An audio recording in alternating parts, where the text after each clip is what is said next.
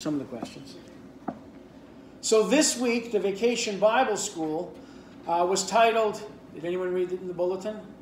Simon says. Simon Says. And, and, you know, a lot of fun. Every morning the children wanted to play Simon Says. And I realized what a bad announcer Simon Says. I just want to keep saying Simon says this, Simon says that, because I'm actually getting my kids to do what, do what I tell them. So I tried that all the rest of the week and it didn't work, though. It only works beginning of vacation Bible school when I'm trying to get them to touch their toes or their nose or their ears or whatever. But Simon says is a whole lot more than a kid's game when it comes to the Bible. Who is Simon? One of the disciples, one of the first disciples, the second disciple. Andrew was first, and then he went and got his brother Simon and said, Hey, Simon, look who I found. I found the Messiah.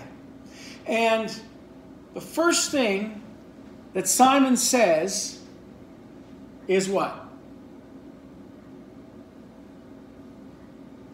Yes. First thing he says is yes. Jesus says, Come and follow me. And by his actions, he didn't even say the words. He got up out of the boat and he followed Jesus from that day. Simon says a lot of things. He's the most vocal of all the disciples, at least recorded in the Bible. So, what are some other things that Simon says? Any other thoughts of what Simon says, Marion? Now you can help them. She's been fighting her tongue here. I never knew him. He denies Jesus. That was going to be the Thursday lesson. We didn't get, get to that one. And Friday is, I, yes, Lord, I love you. That's the Friday lesson. But the, the Tuesday lesson was Simon preaches. And in the book of, beginning of the book of Acts, Simon, in his preaching, draws thousands. I bet you wish you had Simon for a minister.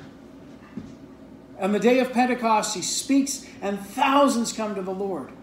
And not long after, he speaks to another multitude, and thousands more come and follow the Lord. And Simon speaks another time. And we have two books in the Bible that are titled the books of the books of Simon, Peter, First and Second Peter, and I just we discussed with the children some some of the things that are in those books. But then we had to figure out now. Wait a sec, we're talking about what Simon says. Why are we talking about Peter? Where did this name Peter come from? Do you remember the story of how Simon, what Simon said to get the name Peter? When Jesus asked his disciples, Who does the world say that I am? They all gave different answers. But when then Jesus turned to his disciples and said, But who do you say that I am? What did Peter what did Simon say? Simon said, You are the, the Christ. And some translations say, You are the Messiah, the Son of the living God. Jesus said, With that, your name is Rock. Your name is Petros, Peter, Cephas. We, we, we talked about what it means to be a rock for Jesus. And that it's not just supposed to be Peter, but all of us who say, You are the Christ, the Son of the living God. We had a great week about it. And we talked about, among other things, one of the commandments of Jesus. And so that's what we're going to we're going to share with you is the song, This is My Commandment. So if you know this song, I invite you to, to sing it along. If you know the actions, even better. So this is this is my commandment. So